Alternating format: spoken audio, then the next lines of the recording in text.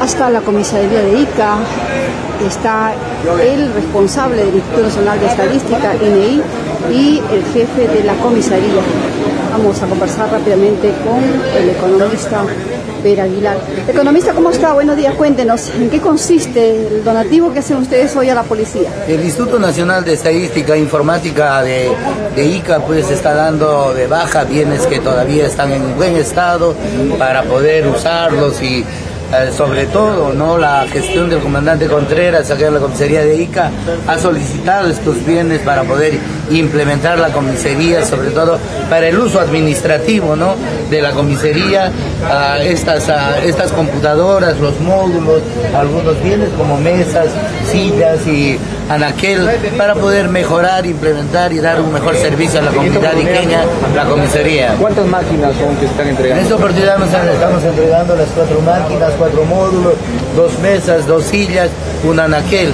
Asimismo también estamos, uh, ya hay varias solicitudes como estamos entregando a los colegios, a las escuelas, que están desimplementadas y estamos apoyando pues de esta manera con estos bienes, sobre todo a mejorar ¿no? a, la, a nuestros usuarios esto, porque también el, el, INEI está ejecutando, por ejemplo, el cuarto censo nacional de comisarías. Ya estamos ya en las comisarías, en las diferentes comisarías, uh, recogiendo información sobre la infraestructura de las comisarías sobre el equipamiento, el personal, el armamentismo y también sobre los, uh, las incidencias que se tienen, las denuncias sobre los delitos.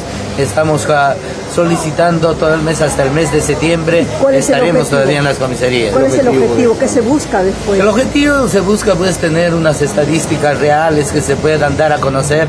Sobre todo este es un convenio con el Ministerio del Interior para que el Ministerio del Interior también tome acciones a mejorar las comisarías, sobre todo en los equipamientos, en la cantidad de personal, sobre todo en la infraestructura que se tienen en las diferentes comisarías de nuestro país y de nuestro departamento. ¿Cuándo debe haber ya un resultado oficial de esta Los resultados deben estarse dando para el mes de diciembre, debemos tener ya los resultados oficiales porque estamos recogiendo de frente ya en tablets, no cuestionarios, ya no usamos cuestionarios sino en tablet y estamos dando pues in situ ya la información. Paralelo a ello, ¿qué otro trabajo Paralelo a ello, venimos realizando también la encuesta nacional agropecuaria, estamos visitando a todos los productores agropecuarios mediante una encuesta para poder conocer sobre todo el uso del suelo, el uso del agua, sobre los fertilizantes, los créditos y sobre todo los productos a dónde están destinados, ya sea al mercado local, al mercado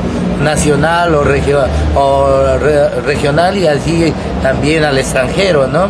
Y de, otra de las encuestas estamos también realizando la, la que es la, encuesta nacional de hogares sobre lo que mide las condiciones de vida y pobreza, la ENDES, la encuesta demográfica de salud y asimismo también lo que es la encuesta de programas estratégicos, que realmente uh, esta encuesta uh, evalúa sobre todo el impacto de todos los programas sociales que viene ejecutando el gobierno central, los gobiernos regionales, para poder ver de cómo se está paliando la pobreza y la extrema pobreza en nuestro país. ¿Ustedes sí en algún momento